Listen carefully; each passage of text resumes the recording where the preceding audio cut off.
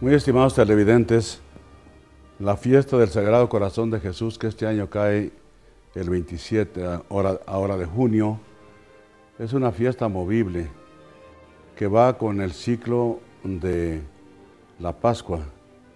Una vez que se celebran todos los misterios pascuales y también la fiesta del Corpus, entonces se celebra el Sagrado Corazón de Jesús para compendiar la obra de Dios, toda la obra de Dios.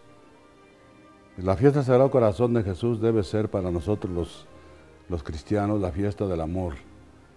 Celebrar el amor de Dios infinito, misericordioso, compasivo, que nos ama de una manera que no podemos ni siquiera imaginar. Eh, la obra de la creación, ¿por qué existe el mundo? ¿Por qué existimos nosotros? Santo Tomás, el gran teólogo de la iglesia, dijo, el amor de Dios es la causa de todas las cosas. Dios creó todas las cosas por amor, para participarles sus, sus atributos, su vida, su felicidad, su, su amistad, sobre todo tratándose del hombre. De manera que la creación es obra del amor de Dios.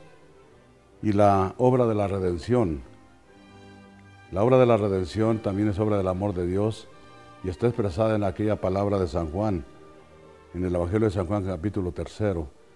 Tanto amó Dios al mundo que le entregó a su único Hijo para que el mundo se salvara.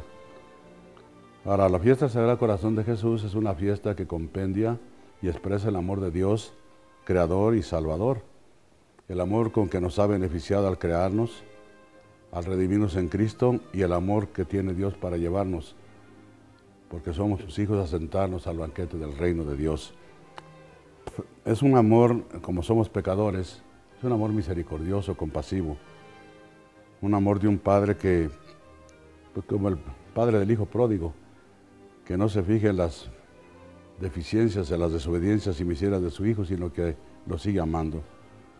Por eso Dios nos ha hecho muchas promesas y ha insistido, ha insistido en que tenemos que considerar ese amor del cual el corazón de Cristo es símbolo.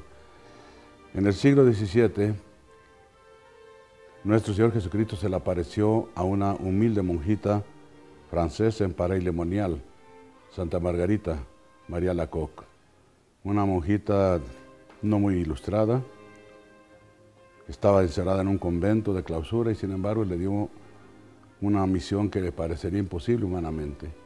Le dijo que de, propagar en la iglesia la devoción a su corazón divino, a su corazón amoroso. Y le hizo promesas muy halagadoras que el pueblo cristiano pues conoce y sabe que el que es devoto del corazón de Jesús, verdadero devoto, tiene prácticamente asegurada su salvación. Esta monjita logró, con su santidad y su humildad, ser elevada a los altares y que el mensaje que recibió de Cristo nuestro Señor pasara a la iglesia y la iglesia, por boca de los sumos pontífices, aprobara y difundiera esta vocación, esta devoción. En el siglo XX, a principios del siglo XX, en Polonia, una religiosa, allí en Cracovia, una religiosa humilde también de clausura, Santa Faustina, recibió un mensaje semejante, el de la Divina Misericordia. Se le apareció el Señor y le encargó que difundiera por el mundo el mensaje de la misericordia divina, del amor compasivo y misericordioso de Dios para los pecadores. Como las cosas, cuando Dios quiere, salen adelante, pues la providencia divina puso en la sede de Pedro un papa polaco, que había sido arzobispo de Cracovia, donde vivió esta monjita, así que la conocía, la canonizó y el Papa se encargó de establecer la fiesta de la Divina Misericordia el segundo domingo de la Pascua, que es una fiesta parecida al del Sagrado Corazón. el corazón ha sido en todas las culturas el símbolo del amor. También en nuestra fe, el corazón de Cristo es el símbolo del amor infinito de Dios. Resume toda la obra de la creación y de la redención, de la salvación. El mensaje para nosotros es muy sencillo y deberíamos aceptarlo con, pues con mucha gratitud y tratar de corresponder. Dios nos ama, aún a pesar de nuestras miserias y pecados nos ama, aún así nos quiere salvar, entonces no le demos la espalda, acerquémonos, vayamos a este corazón de Cristo, nuestro Señor, que, como decían los místicos medievales alemanes, quedó abierto con la lanza del soldado para que encontremos allí refugio. Y para que de, allí emanen los sacramentos que nos dan vida, el bautismo y la Eucaristía, sangre y agua.